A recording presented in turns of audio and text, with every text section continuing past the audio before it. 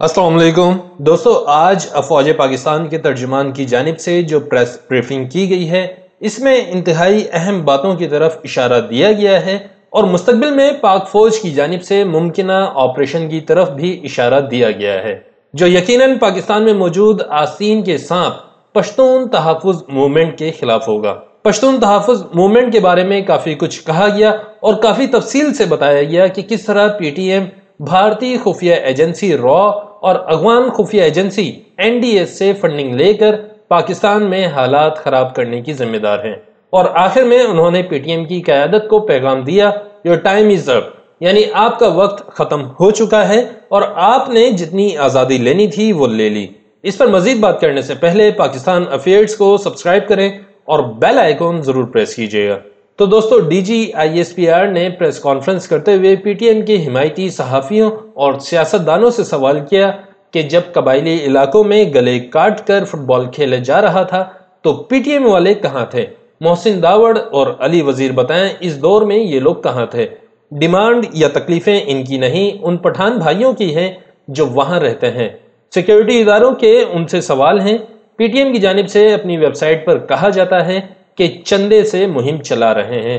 لیکن P T M یہ بتایا کہ بائیس مارچ دو ہزار اٹھارہ کو اغوانی خفیہ ایجنسی این ڈی ایس نے ان کو کتنے پیسے دیے اور کہاں دیے؟ رو نے انہیں اسلام آباد دھرنا جاری رکھنے کے لیے کتنے پیسے دیے اور کہاں دیے؟ منظور پشتین کے رشتہ دار کو کندھار میں بھارتی کونسل خانے سے کتنے پیسے ملے اور کیسے پہنچائے گئے؟ تورخم بارڈر پر احتجاج جاری رکھنے کے لیے کابل میں بھارتی کونسل خانے میں کتنے پیسے ملے؟ میجر جنرل آصف غفور نے کہا کہ دبئی اور دیگر ممالک سے حوالہ ہنڈی کے ذریعے کیسے پیسے آ رہے ہیں، لر اور برڈ سے کیا تعلق ہے؟ آپ کی ڈیمانڈ تو صرف مائنز مسنگ پرسن اور چیک پوسٹیں تھیں۔ مشل خان کے واقعے کو آپ امریکہ اور کینیڈا تک کیسے لے کر پہنچ گئے؟ D G I S P R کا کہنا تھا کہ ایس پی داوڑ کی میت حوالگی سے متعلق آپ نے اپنی قوم کا نام استعمال کیا۔ ایس پی داوڑ کی میت سے متعلق پاکستان نے افغانستان سے بات کرنا تھی۔ آپ چند لوگوں کو جمع کر کے زبردستی بارڈر کراس کر کے اشتعال پھیلاتے رہے۔ آپ کے علاقے میں جو بھی پاک فوج کی حمایت میں بات کرتا ہے، وہ مارا کیوں جاتا ہے؟ اس کے بعد انہوں نے کہا کہ چلیں، مان لیتے ہیں آپ نے جائز طریقے سے پیسہ جمع کیا، لیکن پی ٹی ایم اس پیسے کو لوگوں کے لیے استعمال کیوں نہیں کرتی؟ آپ ان پیسوں سے کبھی لاہور اور کبھی بلوچستان میں احتجاج کرتے ہیں۔ آپ بیرون ملک ان لوگوں سے کیوں ملتے ہیں جو پاکستان کے خلاف بات کرتے ہیں؟ لورا لئی میں ارمان لونی کا انتقال ہوا۔ پولیس بھرتی کے لیے لوگ بیٹھے تھے، ان پر دہشت گردوں نے حملہ کیا۔ واقعے میں کئی جوان شہید ہوئے، ان کی نماز جنازہ تو نہیں پڑھی گئی، لیکن ارمان لونی کی نماز جنازہ افغانستان میں غائبانہ طور پر پڑھی گئی۔ پاکستانی پولیس اور فوج کے شہید جوانوں کی غائبانہ نماز جنازہ افغانستان میں کیوں نہیں پڑھی جاتی؟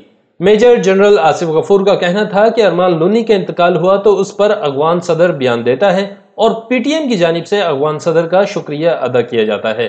لیکن وزیر اعظم پاکستان انہیں کوئی تجویز دیتے ہیں تو آپ ان کی مخالفت کرتے ہیں۔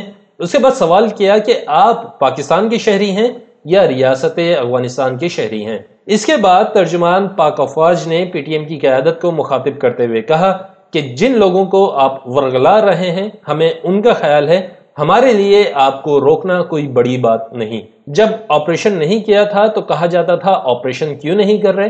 جب آپریشن کیا تو آپ کہہ رہے ہیں آپریشن کیوں کیا؟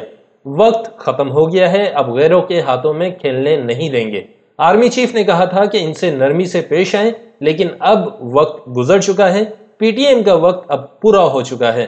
ہم نے انہیں کہا تھا کہ ریڈ لائن عبور مت کرنا، لیکن اب ہم آئین و قانون میں رہتے ہوئے ان کے خلاف اپنی ذمہ داریاں ادا کریں گے۔ تو دوستو، محب وطن حلقوں کی جانب سے ایک عرصے سے مطالبہ کیا جا رہا تھا کہ پی ٹی ایم، جو اس وقت دشمنوں کے ہاتھوں میں کھل کر کھیل رہی ہے اور پاکستانی افواج اور پاکستانی اداروں کو کھلم کھلا گالیاں دیتی ہے، آخر ان کے خلاف کیوں کاروائی نہیں کی جا رہی؟ لیکن آج کی پریس کانفرنس کے بعد لگ یہ رہا ہے کہ آئندہ آنے والے دنوں میں پی ٹی ایم کی قیادت کے خلاف کوئی بہت بڑا کریک ڈاؤن ہونے والا ہے۔ تو اب تک کے لیے اتنے تھا۔ ویڈیو کو لائک اور شیئر کریں، چینل سبسکرائب کریں اور بیل آئیکن ضرور پریس کیجیے گا۔ مجھے اپنی دعاؤں میں یاد رکھیں، اپنا بہت خیال رکھیں۔ اللہ حافظ۔